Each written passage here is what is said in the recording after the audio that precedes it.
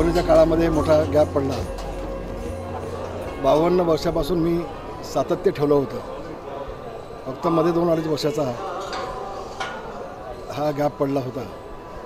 आज पुन्हा एकदा बाबांच्या चरणी आलो आहे आणि बाबांना साकडं घातलं आहे की एकनाथ शिंदे आणि देवेंद्र फडणवीस यांचं जे शासन आहे सरकार आहे यांच्या हातून संबंध महाराष्ट्र सुजलाम सुफलाम होते शिवसेना प्रमुख मान्य बाळासाहेब ठाकरे यांना अभिप्रेत असलेली शिवशाही यांना अभिप्रेत असलेलं काम हे त्यांच्या हातून घडो अशी प्रार्थनाच मी शाहीच्या अनुजवळ केली.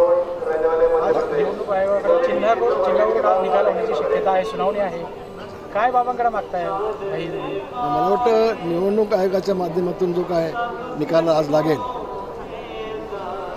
तुम्ही जो काय थोडा बहुत अभ्यास केलेला आहे याच्या आधीचे आपण सगळे दाखले पाहिले. अगदी इंदिरा गांधींजीपासून गाय बछड्यापासून बैलजोडीपासून अगदी त्या सायकलपासून. तर आमदार खासदार आदी कुणाडे आहेत साधारण. त्यांच्या बाजूने आतापर्यंत निकाल लागलेले आहेत. आणि मला विश्वास आहे की निवडणूक आयोग देखील एकनाथ शिंदेकडे यांच्याकडे चाळीस अधिक दहा म्हणजे पन्नास आमदार आहेत. उद्धवजींकडे फक्त बारा तेव्हा आमदार शिल्लक आहेत. खासदार तेव्हा खासदार एकनाथ शिंदेजीकडे आहेत. उद्धवजींकडे फक्त पाच खासदार शिल्लक झालेले आहेत.